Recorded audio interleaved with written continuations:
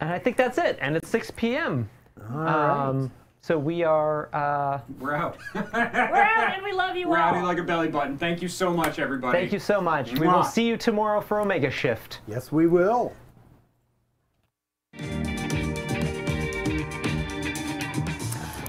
And welcome to the last and yet also final episode of Teen Girls on the Street, Alpha Flight's in depth look at what the youth are wondering about today.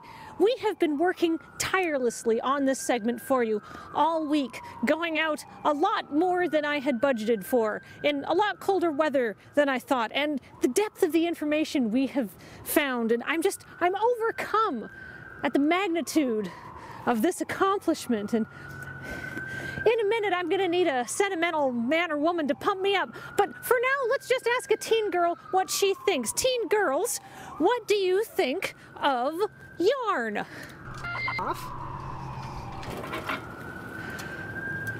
Well, there you have it, folks. It's for the first time in the long and glorious history of this bit, I've actually been talked to the way an actual teen girl would talk to me. This is this is spectacular. I've been doing this for years, probably. Now we've even gone outside to find people, and no one. This is the first time I've ever had an authentic teen girl experience.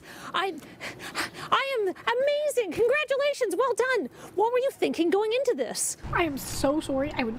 I feel terrible talking to you that way. Also, I might have written a terrible thing on your phone, and I hope I hope we're okay. Are we okay, Kathleen?